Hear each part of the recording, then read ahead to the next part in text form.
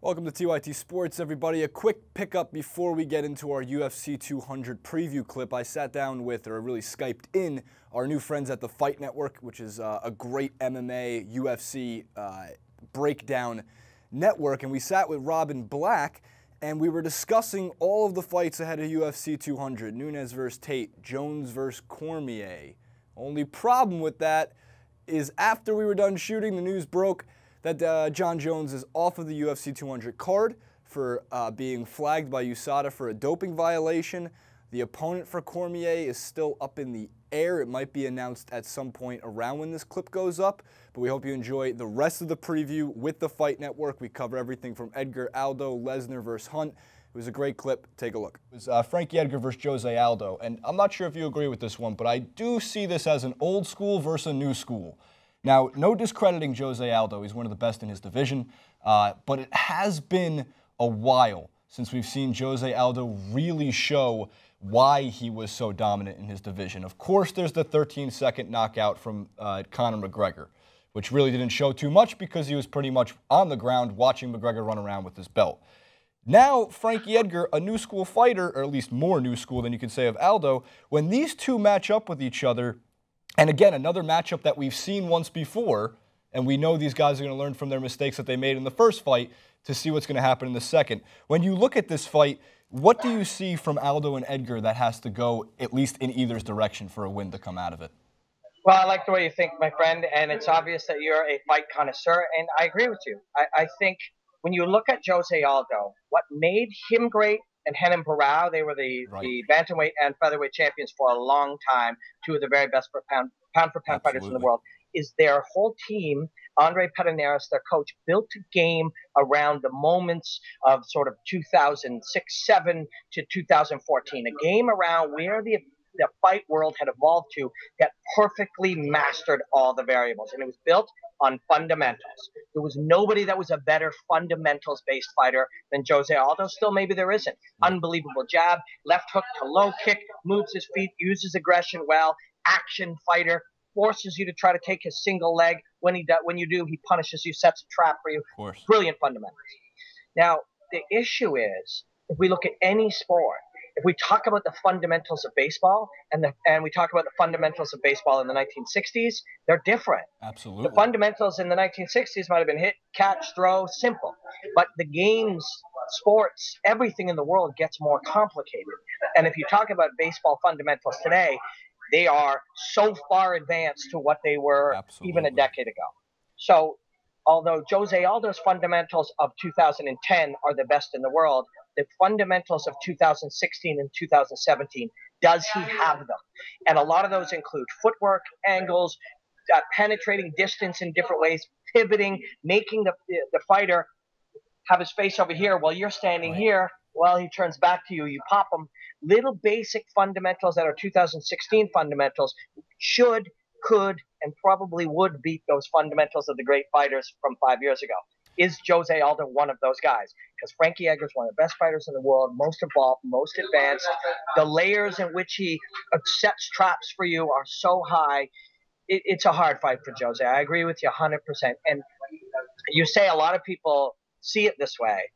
As close as three or four days ago, Jose Aldo was a fairly sizable favorite with the uh, odds makers. Really? But they're starting to catch on now. I think right. we're all seeing – to beat Frankie Edgar in 2016, you've got to be a 2016 fighter. We don't know if Jose Aldo is one.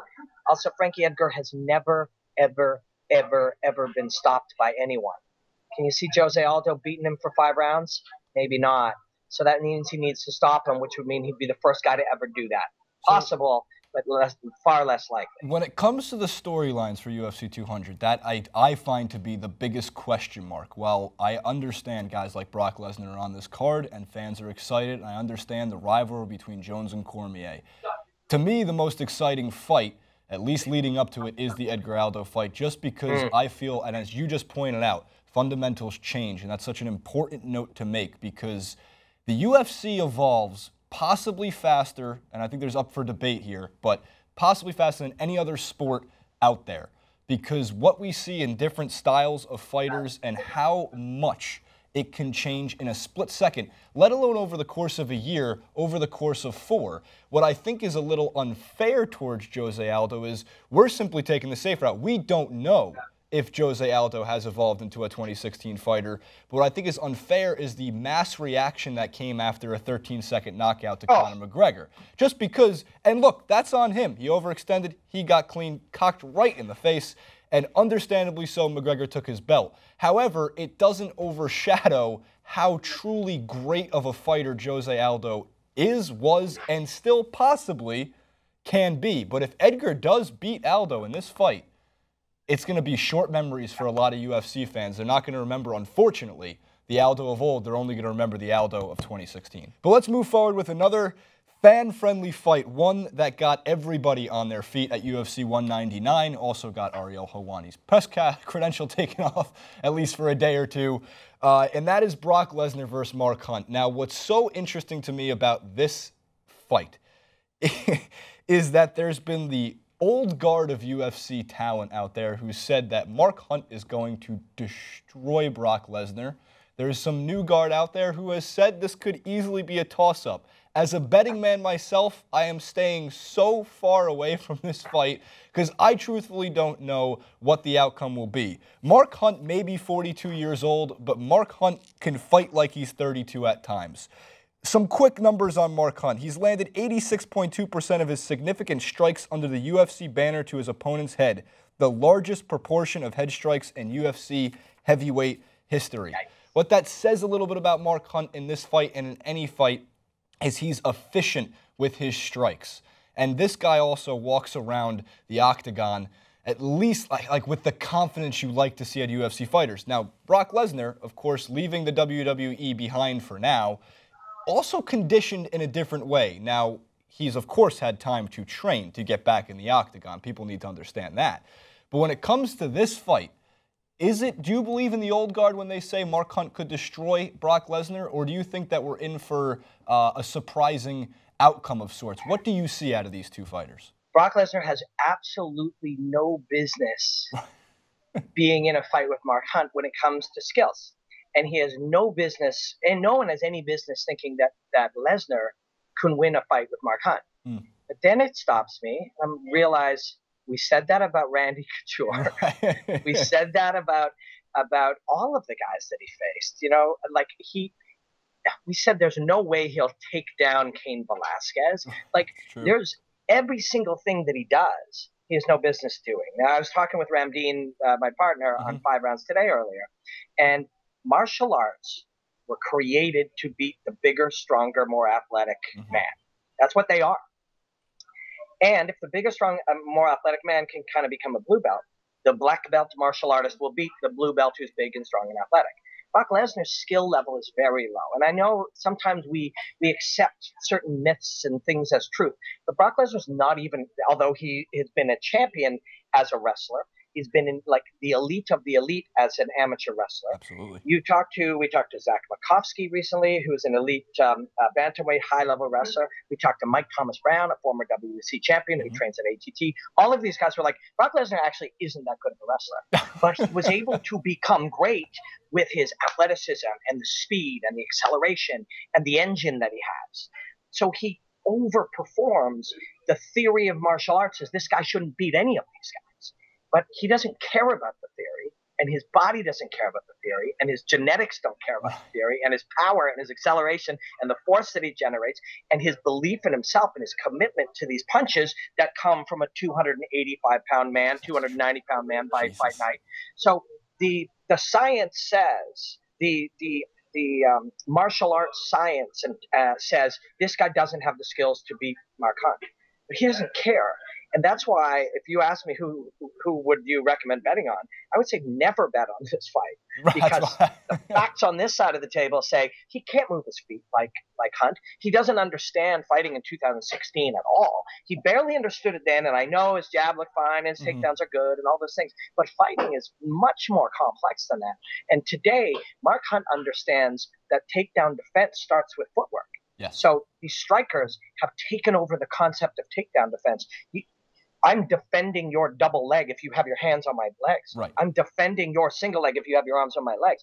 footwork will prevent you from ever touching me. Proper footwork. Hunt has the type of footwork he can destroy Brock Lesnar.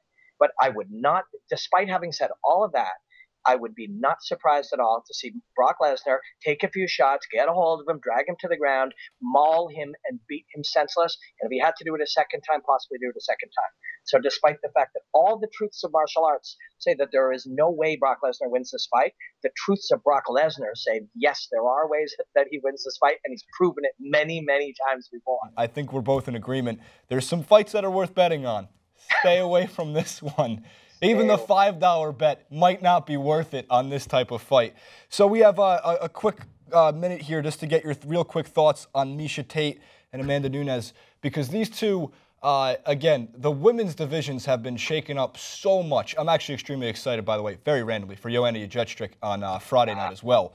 But when it comes to Tate and Nunes, now, if Tate doesn't win this fight, we have another massive shakeup in that division. If Tate does win, it kind of sets the tone for potentially a Ronda Rousey, which of course we know how Dana White works and the money and everything that oh. goes along with that.